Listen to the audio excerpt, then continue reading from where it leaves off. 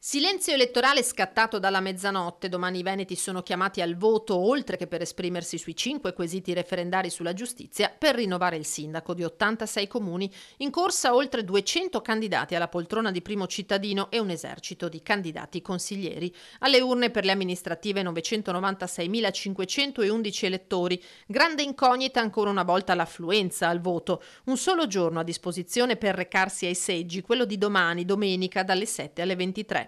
A urne chiuse si procederà con lo spoglio delle schede referendarie. Solo l'indomani, lunedì, a partire dalle 14, inizierà la conta delle preferenze per l'elezione dei primi cittadini. In 17 degli 86 comuni al voto un solo candidato in corsa. Conterà quindi il quorum necessario superare il 40% degli aventi diritto per evitare il commissariamento del municipio. Gli occhi sono puntati sui capoluoghi dove la sfida è molto più combattuta anche a livello numerico. Padova, che elegge il nuovo sindaco nel giorno della festa di Sant'Antonio, con ben nove sfidanti, Verona con sei e Belluno con tre. Se nessuno dei contendenti supererà il primo turno, la metà più uno dei consensi, bisognerà ricorrere al secondo turno, fissato per il 26 giugno. Al ballottaggio, trattandosi di centri con più di 15.000 residenti, rischiano di andare anche Feltre, Jesolo, Marcon, Mira, Mirano, Santa Maria di di Sala, Abano Terme, Vigonza, Tiene e Cerea.